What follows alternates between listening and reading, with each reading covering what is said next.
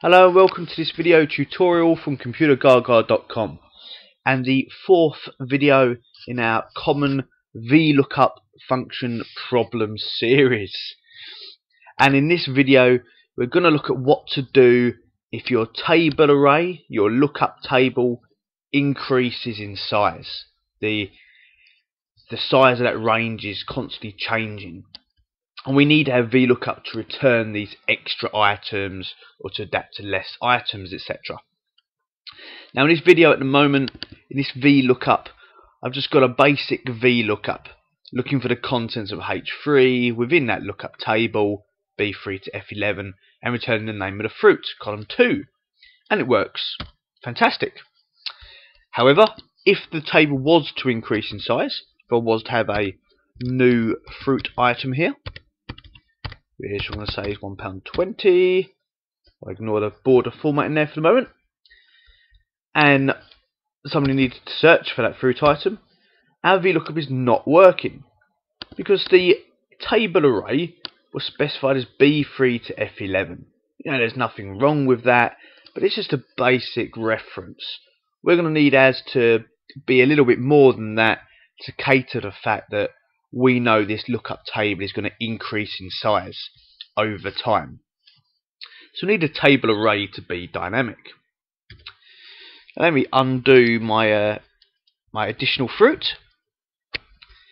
And there are a few techniques for this, but from Excel 2007 and onwards, the best technique will be to select your lookup table and to format it as a table. Now I say there's other techniques for this and you can also create dynamic range names which is still great uh, even if you are on Excel 2007 plus but it's not efficient as using a table. I wasn't going to cover creating dynamic range names in this video. Uh, I have another video for that. Please check it out on our YouTube channel uh, or find some article via Google to explain how that can be done uh, using a function called offset. Anyway, for now I was going to apply or format using one of these designs. I'm going to go for a green one. Actually, let's go for that one. I'm going to right click and apply and clear uh, so it gets rid of my current formatting I've got there uh, and assigns that beautiful green one. But that's not important, you don't really need that. What I've done is it has applied that formatting can always change that with this design at the top. I don't have to have the formatting. But more importantly, uh, we now have a dynamic range. That's what the table works as. And on the far left of this design tab, under table tools, it's also given us the ability to name that table. So even if your range wasn't dynamic, this is probably a more effective way than using B3 to F11 because the formula is easier to read with a, a decent name and especially if you're referencing across sheets which I'm not in this example but if you were it's going to be far easier for people to use for you to write and people to read. Now I'm going to call it fruit list.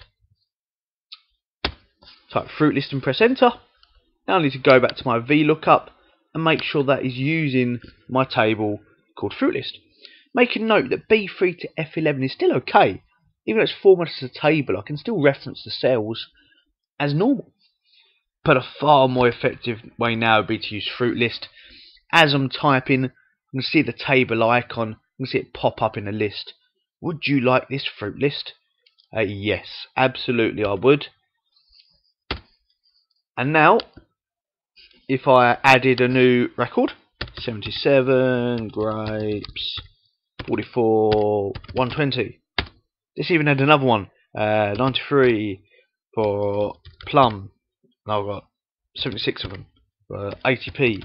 Notice every time I add one, this table is increasing in size. It's already changing. See, if I did search for 77, it will find that, or 93, it will find that, because our VLOOKUP is using the table reference, and our table is dynamic. There is this little resize handle in the corner where you can quickly adjust it manually if you needed. Uh, hopefully you won't. That is part of the idea of a table, although it's far easier to change than a static reference as well, is that it will change itself. So that is looking at creating a dynamic table array or catering for increases in your lookup kind of table size. Hope you find this tutorial useful. Please check out some of our other tips and tricks at computergaga.com. And as for now, we've got video number 5 on the way, which is catering for the problem where VLOOKUP cannot look to its left.